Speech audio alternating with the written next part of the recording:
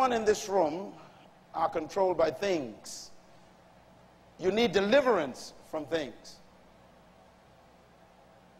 And I want to show you in this series on the kingdom, in this segment,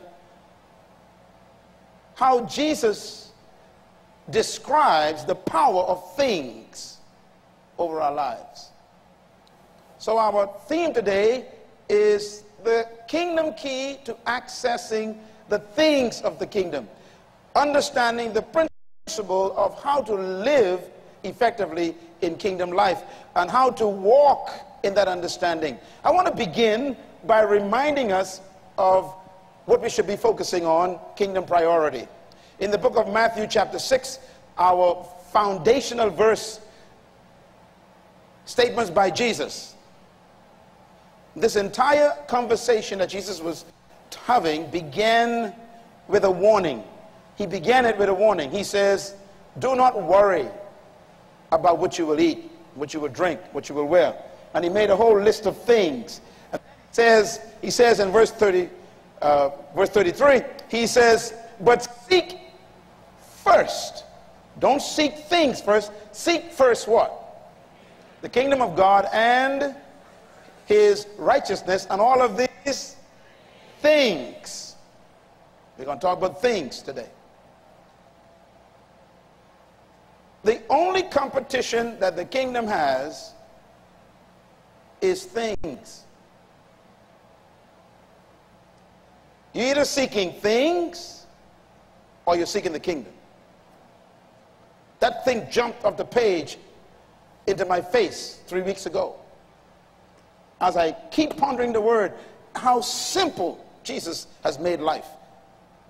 Life is either between things or the kingdom. And if you seek things first, then you will be destroyed by things. Things will become your God. So Christ says, stop worrying about things.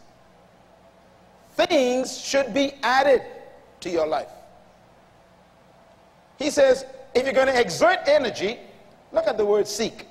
If you're going to exert any energy in life, let the energy go toward the kingdom, not the things. Most of us, not you, the one behind you, are tired because of things. We wear ourselves out for things. We take two jobs away from our kids for things. We even break up our marriages going after things. We abandon our children because we need to get more things. Sacrifice our morality even sell our bodies and our integrity, compromise our values in order to get more things. Boy, things are powerful. And yet Jesus says, hey, things supposed to just be added. You ain't supposed to be pursuing them.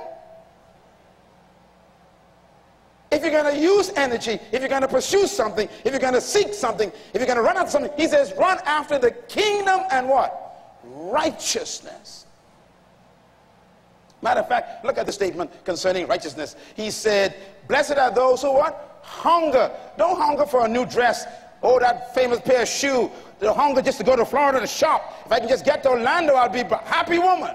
He says, No. He says, Hunger. I can't wait to get righteous.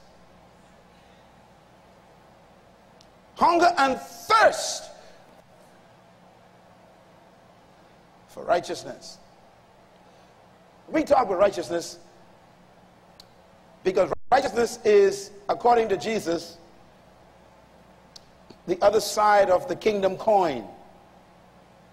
Look at the instruction. Seek first what? The kingdom and then righteousness. They both are two sides of one coin. Can I suggest then that the two priorities of God are very clear? Only two things he says to pursue. Number one, the kingdom. Write this down, please. The kingdom is the governing influence of a king over a territory, impacting it with his will, his purpose, and his intent. In other words, seek the governing influence of God. Seek the, the impact of God's government in your life in your business, in your home, in your ministry, in your family, in your community, in your country, in your government. Seek the kingdom influence. Then he says, righteousness. That is important to write down. Righteousness, as we talked about the last four weeks of my sessions, is to be righteous doesn't mean to wear long clothes or wear a cross around your neck or wear a turban. Righteousness is a legal word from the courts of law, and it means the right positioning or the alignment with the governing authority of a country. To be righteous means to be rightly aligned with a government. That means you are doing everything to not break the laws of a country. That's called righteousness. So, kingdom is the government, righteousness is the relationship with the government.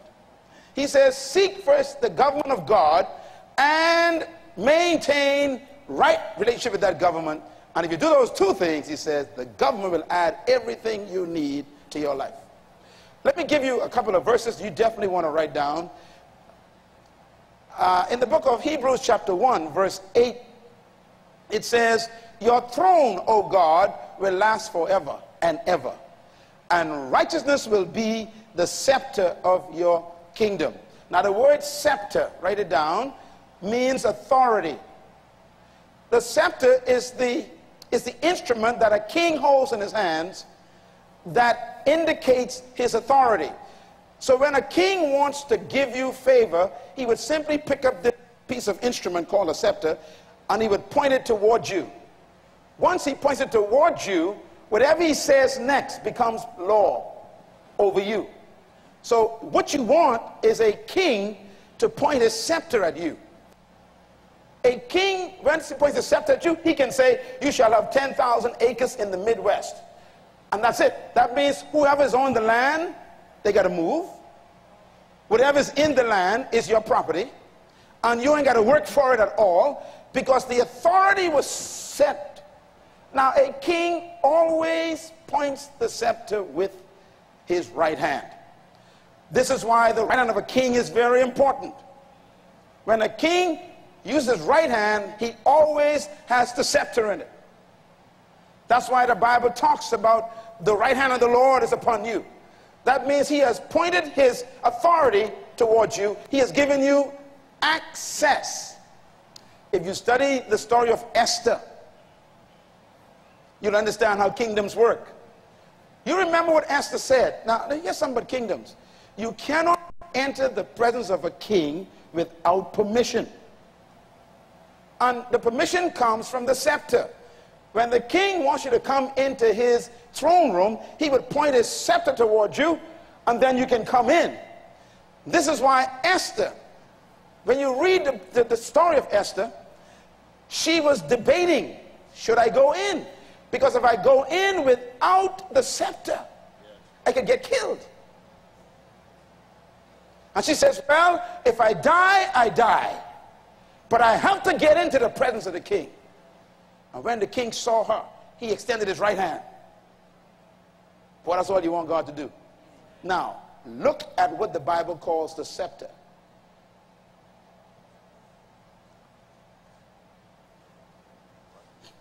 You control what he does with his hands.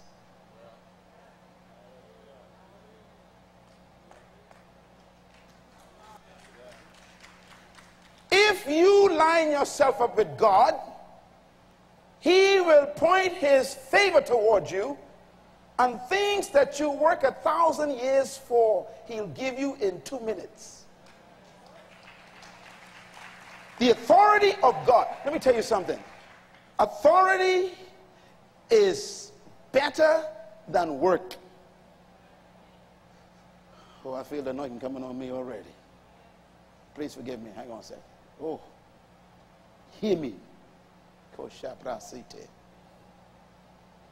I speak as a prophet this morning. This is different. The authority, Christine, the authority is more important than work. See, authority can cancel 10 years of work.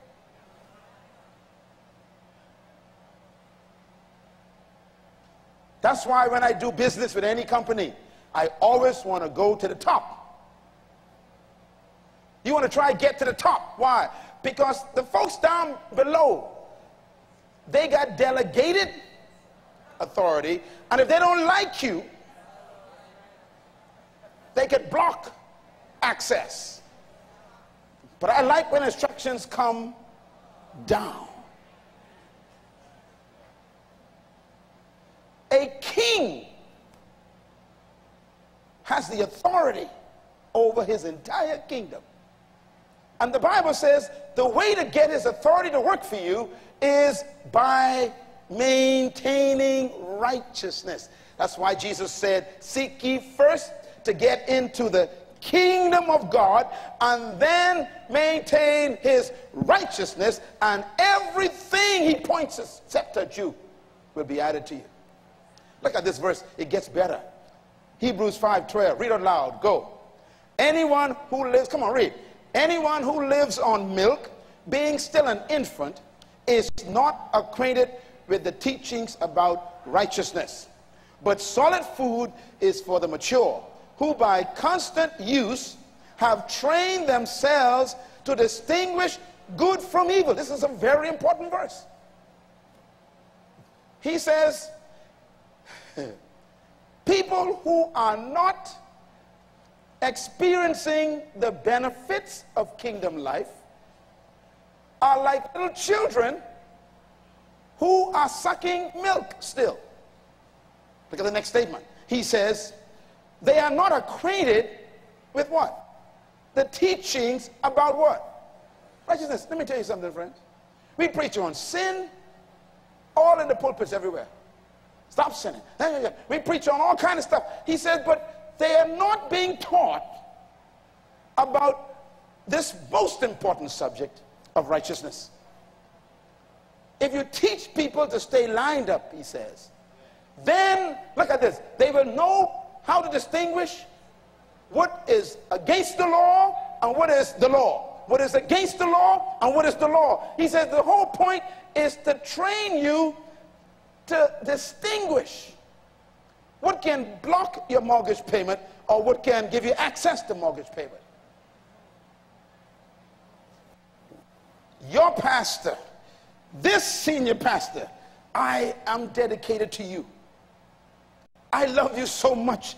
I want you to be totally debt free. And debt free doesn't mean that you ain't got no bills. It means you always got stuff to pay them off. Wealth in the kingdom of God is not storing stuff up, it's having access to everything.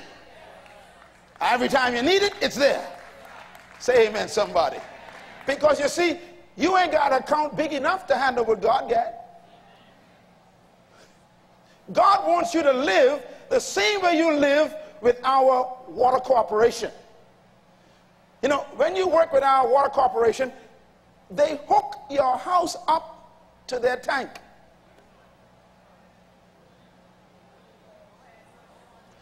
Mm-hmm.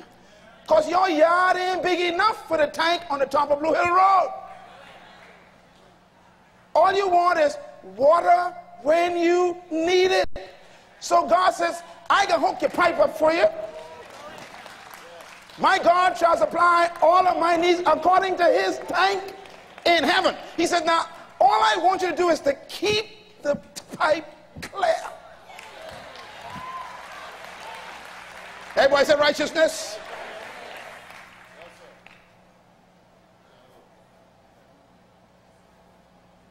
You will know different between the things that clog it up and the things that open it. That's righteousness. Here's another verse. What is the powerful stuff? Watch this in the book of Job, chapter 36, verse 7. Read it loud. Read. He does, come on, read. He does not take his eyes of who? The righteous. He enthrones them with kings and exalts them forever. Say amen to that man. Oh, brother, he said, look, I even, listen, I ain't only going to make you look good. I can make you sit good. He does that to the righteous. He will exalt the righteous. If you stay, if you stay right with God, God will promote you in every situation you go into. You become the top in every situation. And they won't be able to understand why they appointed you to the board, why they gave you access to the boardroom. They won't they say, What? Who? You just came here two weeks ago. God says, Because your pipe is clear, I'm going to make them exalt you. Lift your hands and glorify God.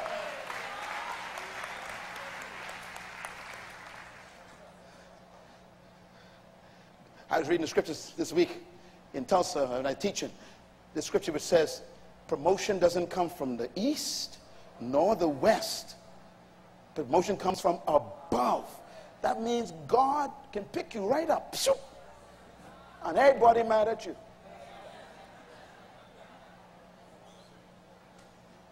God does not exalt the educated. Read it. He exalts who? The righteous. You stay in line. Don't do nothing this week to mess with your relationship with heaven. Don't lie, don't steal, don't curse, don't backbite, don't have no deceit, don't have no private jealousy, no envy, have nothing in your heart. You want to keep your life clear. I mean, anybody attempts to irritate you, tell them, don't fool with my righteousness. Forgive them real fast. Boy, this ought to keep your heart right, eh? What do you say, daughter? It keep right. He say, hey, hey, hey. See, because when somebody start getting on your vexation, it's up to you to keep the vex out of your pipe. That's why the Bible says, love your enemies. Why? You want to keep your pipe clear. Look at this verse. It's a powerful verse. And this one is Psalm 5, verse 12. Read it loud. For surely, O Lord, you have blessed what? The righteous. You surround them with your favor as with a shield.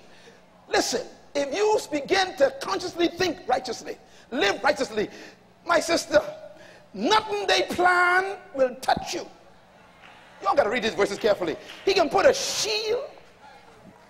When they start handing out pink slips, they pass your desk. Every insurance agent complaining about hard times, but you got more business than you ever had at the same time they're complaining. Why? He said, I put a shield around you. You better get this. Claim that right now. Claim. See, I claim that stuff. That means you are not normal.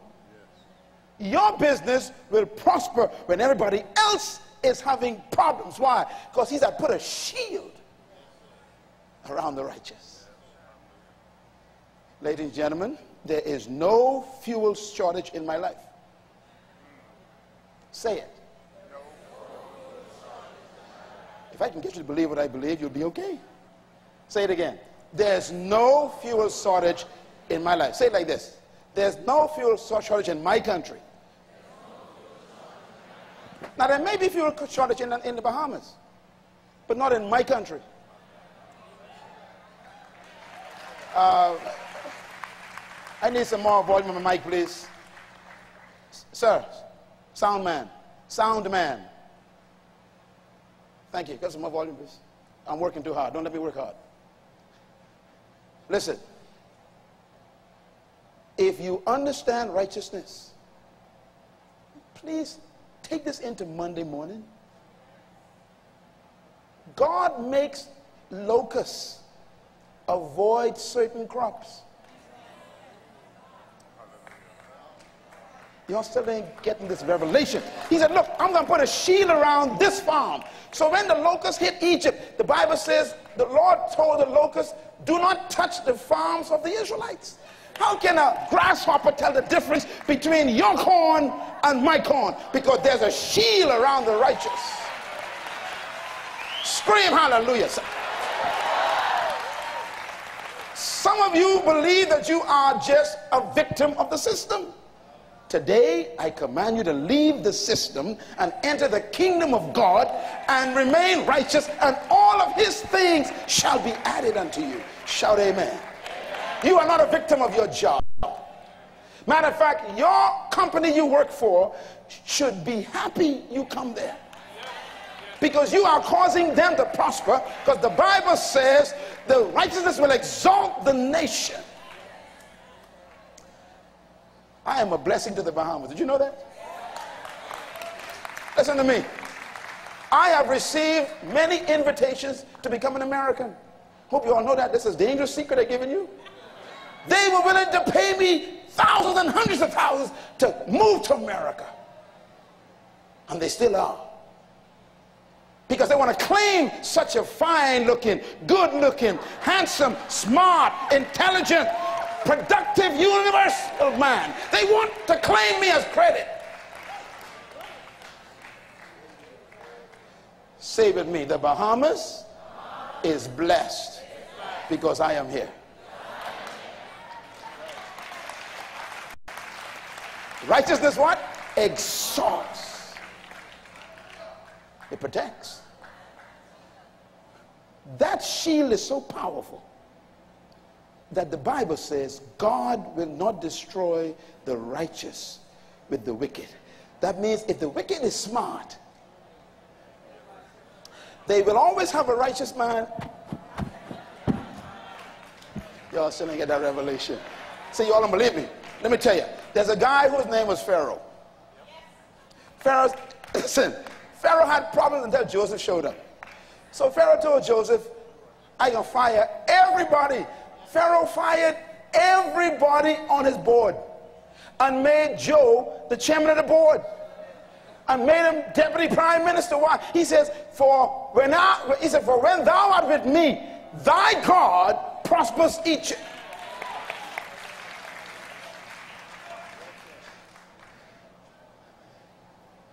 I want you to leave here today and tell the folks in your house, let me tell you all something, you all better appreciate me, appreciate me now. This house is safe because I sleep here.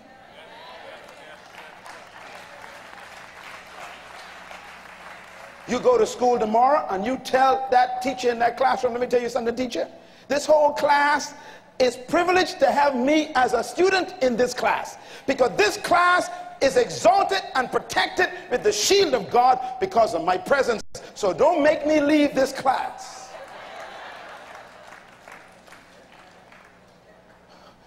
Look at this verse, Psalm 34. Out loud. The eyes of the Lord are on the righteous, and his ears are attentive to their cry. You remain aligned with God, God watches you. Can you think about it? When you leave here today, you say, Lord, I will do nothing to interfere with our relationship. I won't do anything to break the contact with my government. The Bible says, tell you what, he'll keep his eye on you. You get in traffic and a car come hit you, he say, stop that car. Angel, stop the car, car run in the bush. His eye. When you go to get your, your, your promotion, he put his eye on you. When you go to buy a car, he put his eye on you. Favor comes from the bank. He got his eye on you. He says, I will watch over the righteous, those who are lined up. That's why I am never afraid, nor am I ashamed, nor am I wondering about my future, because my future has an eye on it.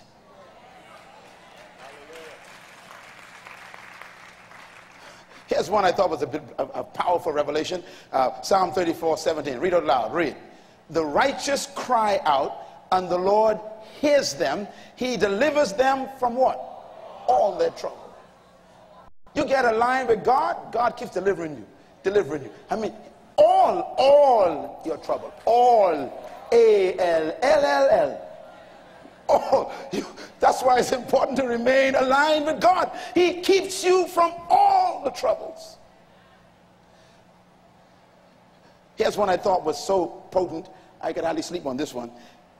Psalm 34, verse 19 says, A righteous man may have many troubles, but the Lord delivers him from them all. He protects all of his bones.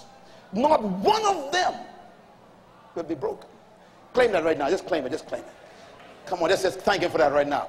Your body, halakushi, ratabu, your husband's back is under God's eye. None of your bones will be broken. Listen. Do you know what the bone is? That, that doesn't only mean the bone in your body, no. It's, a, it's an idiom.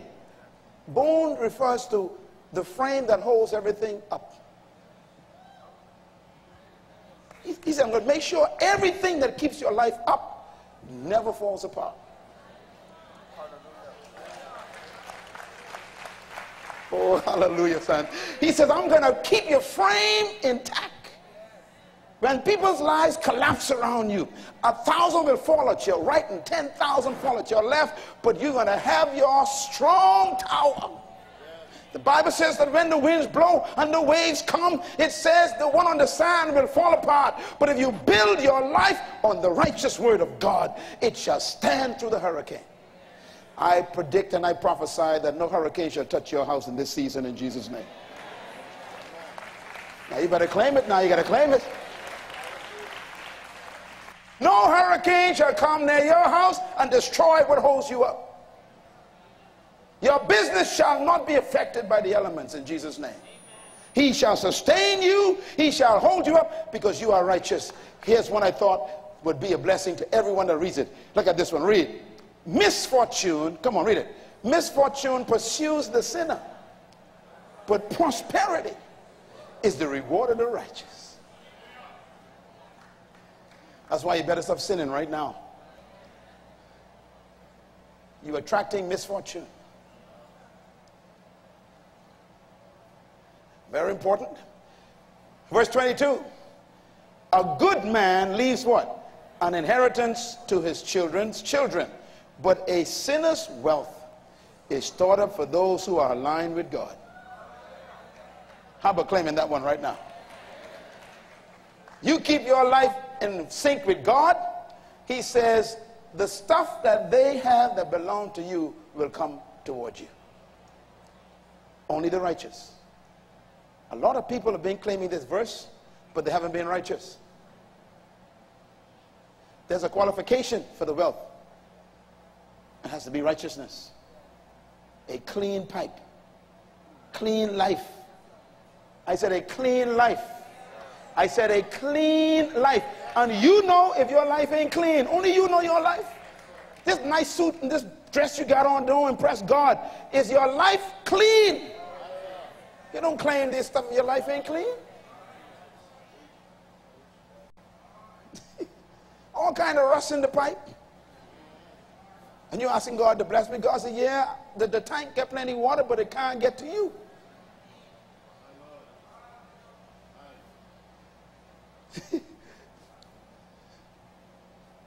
Yes, Lord. Lord, I'm going to keep quiet for a second so you can get that one.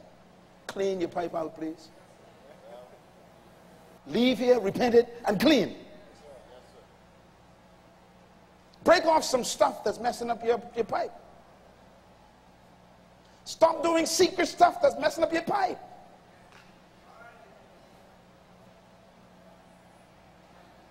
The tank is full of water and you're thirsty. Nothing's wrong with the tank. Here's one. This one I had to think about because it talks about rewards. Psalm 58, verse 11. Read. Surely, come on out loud. Surely the righteous still are rewarded. Surely there is a God who judges the earth. He says, as long as there's a God that is alive, the righteous will be rewarded. There's a reward for living clean.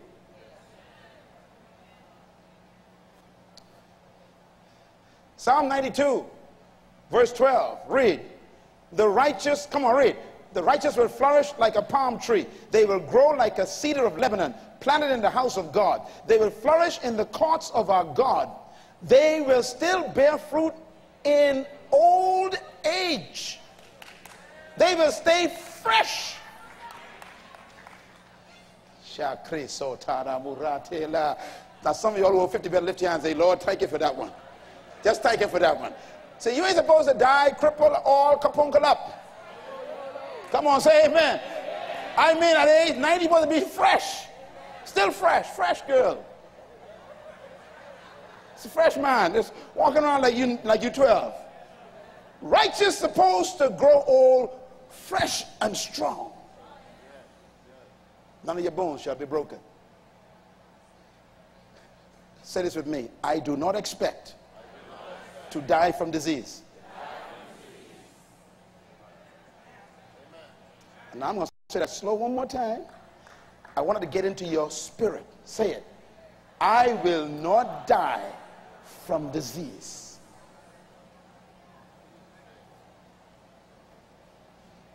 The old shall be fresh like a cedar if you're righteous. What a powerful verse, hey? Look at this one. Isaiah 28, verse 16. Read. So, come on, read. So, this is what the sovereign Lord said. Now, he's speaking to you. See, I lay a stone in Zion, a tested stone, a precious cornerstone for a sure foundation. The one who trusts in him will never be dismayed.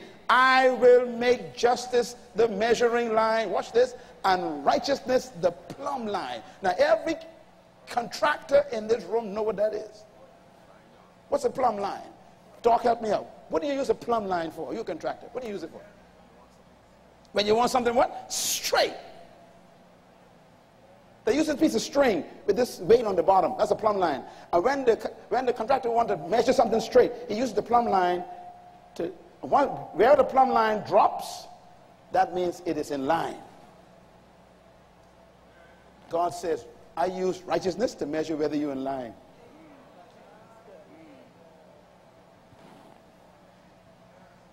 You come God, oh God, I need this. God said, let me check where you are. And he dropped the plumb line. He said, no, God, you sleep with somebody you in. Oh God, I need a house. That's no problem. Let me, let me just check. He dropped the plumb line on your palm. You way over here, he over here. He said, yeah, man, you sleep with that young boy. Y'all ain't married.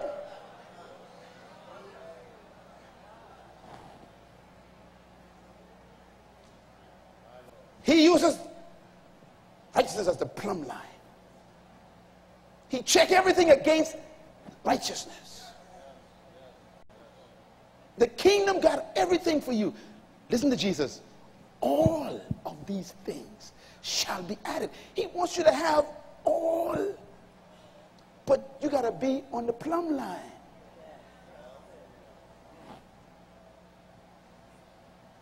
Hallelujah. Being saved is not enough. Speaking in tongues doesn't get God to bless you. The plumb line.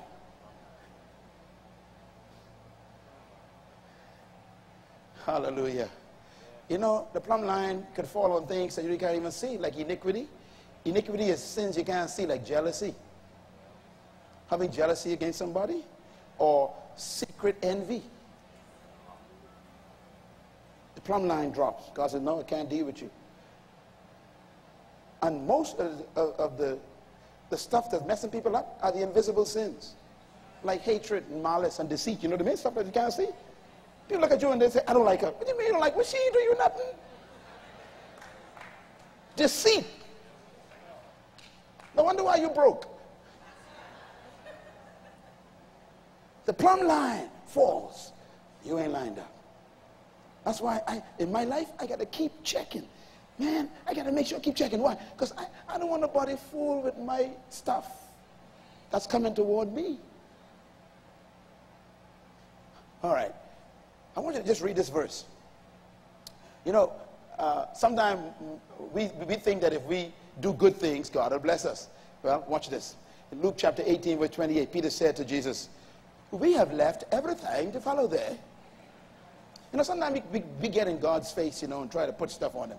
Lord, you know, I, I fasted five days without food, you know.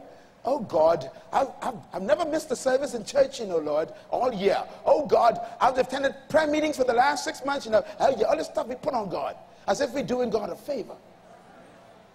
And here's Peter saying, I left all to follow you. Aren't you proud of me? Don't you like me for what I've done for you, Jesus? Look at his answer and repent. He says, Peter, I tell you the truth. No one, everybody say no one. Thank God he included me in that list. No one who has left home or wife or brothers or parents or children for the sake of the kingdom of God will fail to receive many times more in this life and in the age to come.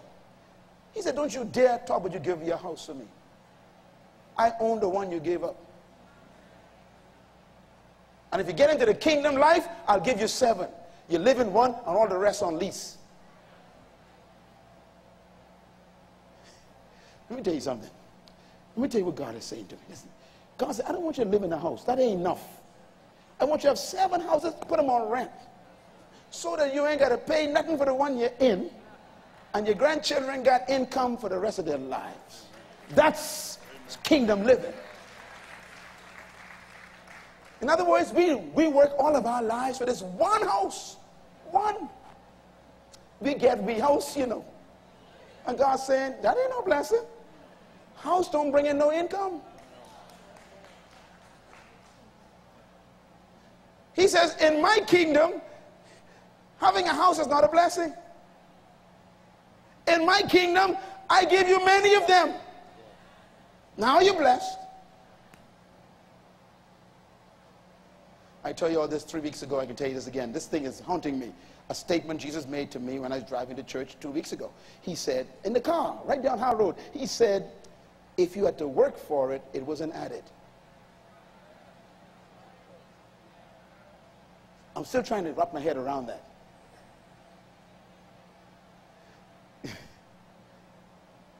If I add something to you, you didn't earn it.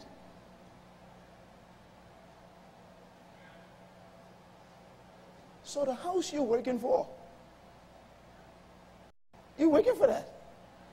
He said, Peter, even when you come to me and you and you give me back the house, I give you seven.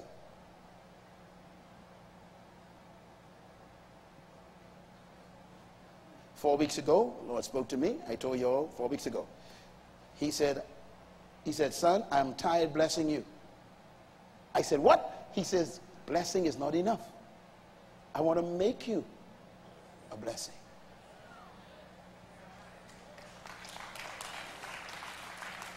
Now, you all can say amen louder than that man. See, in other words, I don't want you to have enough.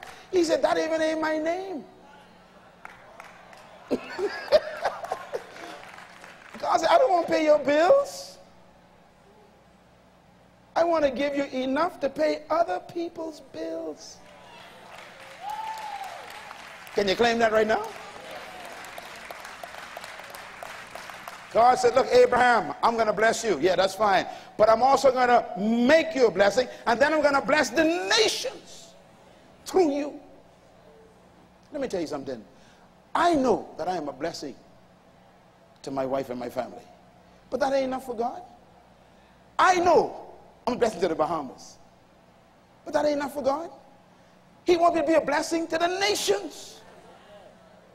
So he sends me around the world to bless them, lift them up, strengthen them, give them a new revelation of who they can become. He is using me to be a blessing. And so the Bahamas has put me in their tourism ad. That's not to be taken lightly. There are 300,000 Bahamians. In the ad, they got the, they got the, the ambassador of America and Myles Munroe. He's making me a blessing. It shall happen to you in Jesus' name.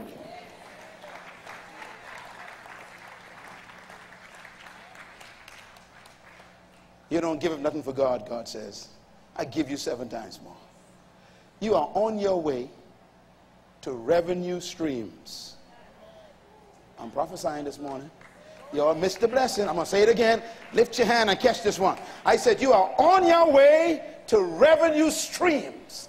That means you ain't to be living to pay bills. Going to be living to collect. Shout hallelujah. Give God a big praise. How about a shout in this house? He said, I'm to bless you and make you a blessing. I'm to give you seven times more, he says. Don't brag about what you got, God says. that little money you got in your bank account. He said, That's a shame to me. And you're so tight with that little money in your place this morning, hanging on to how much offering. God said, What are you talking about? Get it under the kingdom. I'll give you seven times. You know, here's something I want you to remember this. The first thing man thinks about are things. And that's why he can't live in the kingdom. This is your challenge. I want to give you a list to write down. Write this down, please. The power of things. Everybody say things. Say the power of things. I didn't realize how much of a prison I was of things. I am still being delivered. I am. It's hard to be delivered from things. As a matter of fact, Jesus saw things, as I said, as the enemy of the kingdom. Look at this. Mankind's motivation and drive is his preoccupation with the pursuit of things. Here's another thought to write down. Everything we do in life is for things. Think about your life. Everything we do in life is for things. Why do you go to work? To maintain things. Why you want a job? To buy some things. Why you marry up? To have access to things. Why do people compromise their lives and sleep with the boss? They don't love him. They want more money to buy more things. Things are powerful. Write this down. All of our prayers are focused on things. These are unbiblical prayers. But look at our prayer lives. The average person, not the ones in this church, now you all learn how not to pray for those things, but the average person who religious, they pray for things. They got a shopping list for God. Write this down. All of the faith is focused on things. You know, those people who've been focusing on the faith movement. Now, I'm not really, you know, condemning this movement, but I'm concerned because that movement has made things the object of your faith. So we hold faith for cars, faith for house, faith for food, faith for business. So you know, just holding faith for these things. And Christ says, What are you doing?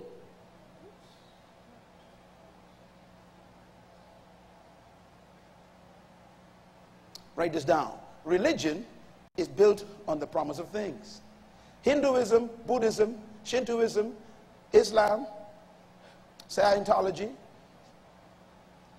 and Christianity, study them. They are all built on promising you things. Appeasing the gods, and then you shall have things. You'll have a harvest. You'll have a good harvest this year if you appease the gods, they say. So you offer these sacrifices to Mother Earth and Mother Sun and Mother Sea and Mother Dog and Mother Tree. And you have all these, these, rituals. Christians do the same thing. Christians do the same thing, except that they turn it on Jesus. They use Jesus just as an object to get things. A religion of things. Things, write this down, are the source of all of mankind's problems. Things. The crime in our countries is motivated by things. Why would a man break into your house and steal your CD? Because it's a thing. Why would they break into the bank to go after the teller to get money? Things. Why would the young boys attack a young boy and beat him up and take his Nike shoes? Because of things. Why would a drug dealer put liquor and and, and coke down your children's veins because he wants a bling bling around his neck. Things. Why would a woman sell her body? She'd tell you, I got to keep my lifestyle up. Things. Why do you tell a lie on your job? Why you got to pad the books? Why do you have to, to white out your invoice. Things. Why do you need to shack up with this fella? Things. People say, well, at least he pays my bills. Things. Listen, why would a politician get kickbacks? Because he won't buy another boat. Things. Why would a preacher tell the deacon, I can count the money myself? Because he want things. Think about everything. Think about everything. I like the way Peter said it. Peter just concluded. Peter got a revelation one day. Peter says, You know something? The love of money is the root. Ain't the devil, nothing to do with the devil. He says, Things. Money to buy things. The enemy of the kingdom is religion and things. Let me read a scripture for you. Matthew 6 33. 30. Read. So do not worry, saying, What shall we eat? What shall we drink? Or what shall we wear? For the pagans run after all these things. And your heavenly Father knows that you need the things, but seek ye first the kingdom of God and his righteousness, and then all of these things shall be added. We've reversed it. We go after the things and then we say, now we got time for God.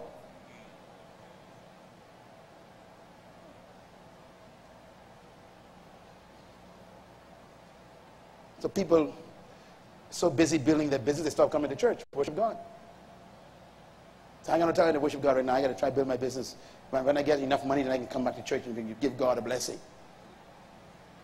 May you and your business perish. And it will. Because if you pursue things in the place of God, they become your God.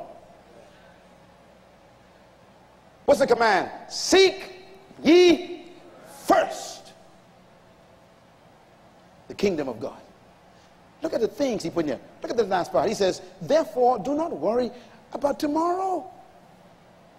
Verse 34 For tomorrow will worry about itself.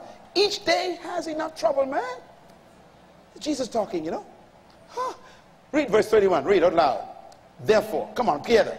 Therefore, do not worry, saying, What shall we eat? Or what shall we drink? Or what shall we wear? For after all of these things the Gentiles seek. For your heavenly Father knows that you need all these things, but seek first the kingdom of God and his righteousness, and all of these things shall be added unto you. And therefore, do not worry about tomorrow, for tomorrow worry about its own things. Christ keep fighting things in this verse. This will be the best three months you've ever had in your life from here to Christmas. I'm prophesying. You better catch the breath prophecy. Because God is going to give you peace in your life, take away frustration, remove all the pressure, and under all that joyful experience, things can come by the thousands. The Bible says the blessing of the Lord make it one rich and he adds no pressure to it. Give God a praise for that. Confess that. It says he makes you rich without pressure. That's right, sister. He makes you rich without pressure. This is kingdom life. My prayer for you is that you will walk in the glorious sunshine of the grace of his wonderful kingdom. That today you will leave the pressure of things and enter the joy of the kingdom of God. May you remember that kingdom contains everything that a citizen's needs. Remember that all things in the kingdom belong to the king. Remember that access to the things in the kingdom are available to all the citizens by what? Right. Remember that things in the kingdom are not to be pursued. Remember that the pursuit of things is an expression of your distrust of the king.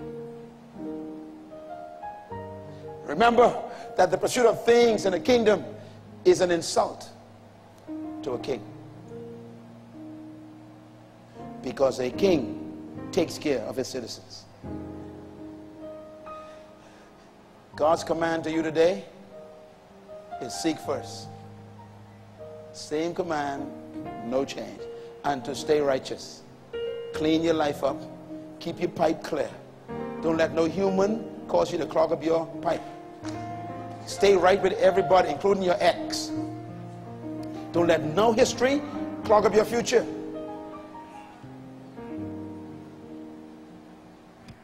Get over it and put it under the blood. Because your future is full of wonderful blessings, but you could clog them up.